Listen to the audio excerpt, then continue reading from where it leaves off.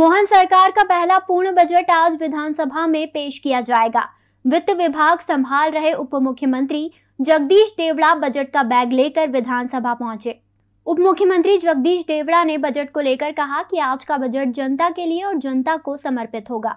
सभी वर्गों का समावेश इसमें किया गया है। देश के प्रधानमंत्री नरेंद्र मोदी ने जिस तरह कहा है कि गरीब युवा, महिला और किसान, इन पर विशेष फोकस किया गया है।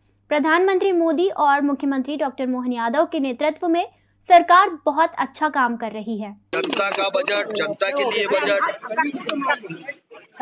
निश्चित रूप से सब वर्गों का समावेश इसमें किया है।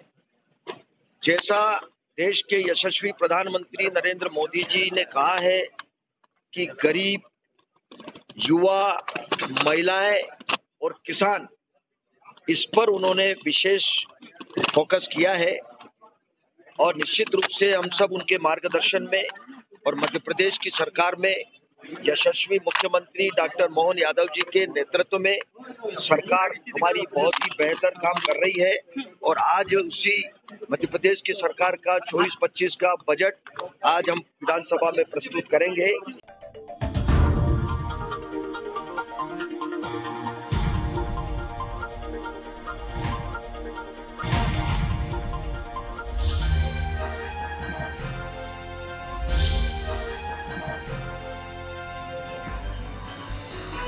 आप देख रहे हैं दखल न्यूज़।